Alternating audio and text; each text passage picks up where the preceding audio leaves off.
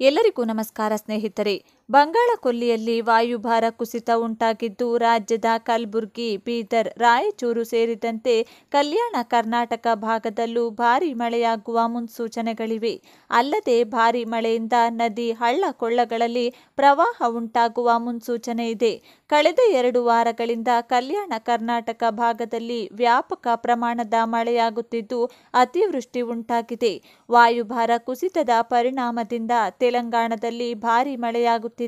ಇದರ ಪ್ರಭಾವ ರಾಜ್ಯದ ಪೂರ್ವ ಭಾಗದ ಜಿಲ್ಲೆಗಳ ಮೇಲೆ ಉಂಟಾಗಲಿದ್ದು, ಇನ್ನೆರಡು ದಿನ ಕಲಬುರಗಿ, ಬೀದರ್ ಭಾಗದಲ್ಲಿ ವ್ಯಾಪಕ ಹಾಗೂ ಭಾರಿ ಮಳೆಯಾಗುವ ಮುನ್ಸೂಚನೆಗಳಿವೆ ಎಂದು ಕರ್ನಾಟಕ ರಾಜ್ಯ ನೈಸರ್ಗಿಕ ವಿಕೋಪ ಉಸ್ತುವಾರಿ ಕೇಂದ್ರದ ಸಂಸ್ಥಾಪಕ ಹಾಗೂ ನಿವೃತ್ತ ವಿಶೇಷ ನಿರ್ದೇಶಕ ವಿಎಸ್ ಪ್ರಕಾಶ್ ತಿಳಿಸಿದರು.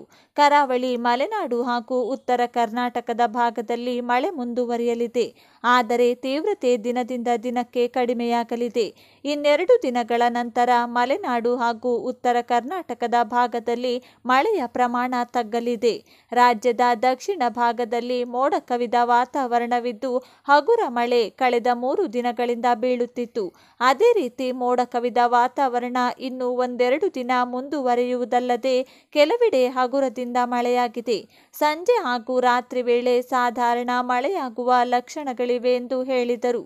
ಮುಂಗಾರು ಚೇತರಿಸಿಕೊಂಡಿರುವುದರಿಂದ ರಾಜ್ಯದಲ್ಲಿ ಈ ವಾರಾಂತ್ಯದವರೆಗೂ ಸಾಧಾರಣ ಪ್ರಮಾಣದ ಮಳೆ ಚದುರಿದಂತೆ ಅಲ್ಲಲ್ಲಿ ಮುಂದುವರಿಯುವ ಮುನ್ಸೂಚನೆಗಳಿವೆ ಎಂದು ಅವರು ತಿಳಿಸಿದರು.